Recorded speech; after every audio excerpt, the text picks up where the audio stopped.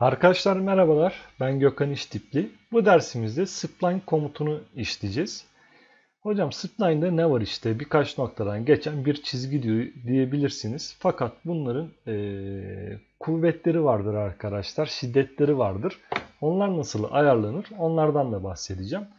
Şimdi diyorum ki spline'ımı aldım. Şöyle küçülteyim. Şu noktalardan geçen bir spline çiz derim. Ve çift e, en sonuna çift tıklayarak spline'ımı bitirdim arkadaşlar. Ben şimdi bu noktalardan istediğim gibi oynayabilirim. Bundan yana hiçbir sıkıntı yok. Fakat bunların şiddetlerini e, ayarlayamam. Bunlar nasıl ayarlanır diye sorarsanız birinci olarak buna çift tıklayarak arkadaşlar bu ekranı açarız. İkincisi spline'e sağ tuş yapıp şuradan object e, kısmından definition'da diyebiliriz. Şimdi geldim dedim ki bakın burada bir tanjant kısmı var. Bir de curve kısmı var arkadaşlar. Close spline dediğiniz zaman e, otomatik olarak son noktayı ile baş noktayı otomatik olarak kapatır arkadaşlar. E, bunlar çok önemli şeyler değil. Şu kısımdan e, bahsedeceğim ben daha çok. Şu tanjant ve curve kısmından. Diyorum ki birinci point seçili ve geldim buraya tanjant dedim. Bakın arkadaşlar buraya bir tane ok oluşturdu.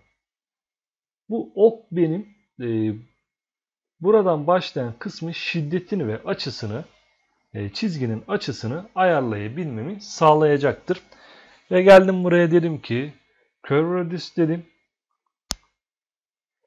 Geldim buraya 300 R300 dedim arkadaşlar. Bakın R300'de başladım. Tekrar çift tıkladım. Bu sefer geldim ikinci noktayı yaptım. Kaç noktamız var bu arada? 1, 2, 3, 4, 5, 6, 7, 8 tane noktam var. 8'ine de bu işlemi uygulayacağım. Tanjant dedim. Bu sefer buna curve'de e, değer vermiyorum. Dilersen buradan reverse tanjant da yapabilirim. Yani okumu ters çevirebilirim. Ama bu sefer şeklim bozulacaktır. Ve onayladım. Tekrardan geldim. Dedim ki üçüncü nokta tanjant olsun. Buraya da bir değer verelim. Kaç verelim? 150 olsun ve onay. Tekrar çift tıkladım. Dördüncü noktama geldim. Tanjant dedim. Bu sefer curve diyorum. Ve buna da eksi 200 dedim. Bakın arkadaşlar gördüğünüz gibi şöyle ters radius oluşturuyor bu sefer. Sanki kırma işlemi olmuş gibi oluyor. Tekrardan çift tıkladım. Geldim bu sefer 5.ye. Tanjant dedim. Geldim buraya eksi 300 dedim. Güzel. Tekrar çift tıkladım. 6. pointimi yapıyorum. Tanjant dedim. Curve'e geldim. Diyorum ki buraya da eksi 500 olsun. Yüksek değerler verelim. Tekrardan geldim. 7. nokta tanjant olsun onay. Tekrar çift tıkladım ve 8. nokta tanjant olsun değerimiz 100.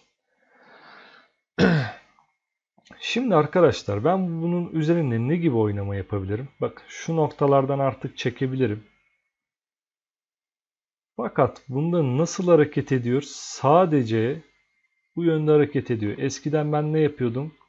Şu noktamı tutup taşıyabiliyordum. Zaten yine noktadan tutup taşıyabiliyorsunuz ama e, oklardan tuttuğunuzda arkadaşlar ok yönünde hareket ettiremezsiniz. Oka dik bir şekilde hareket ettirebilirsiniz sadece. Ve ben dedim ki bu okum benim e, horizontal olsun dedim. Sağ tuş Buradan gelip e, horizontal diyebilirim.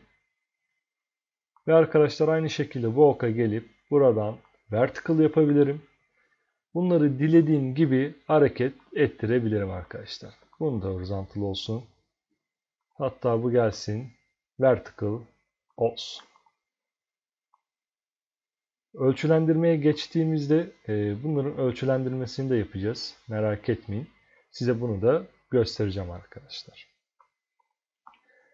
E, spline'la bakalım bir çift tıklayayım. Anlatacağım başka bir şey var mı? E, ben şu noktayı istemiyorum dediğinizde buradan e, remove point dediğiniz zaman arkadaşlar o noktayı kaldırır ve diğerlerine tanjant olacak şekilde çizimi tamamlar. Evet, spline komutuyla anlatacaklarım bu kadar. Bir sonraki dersimizde görüşmek üzere.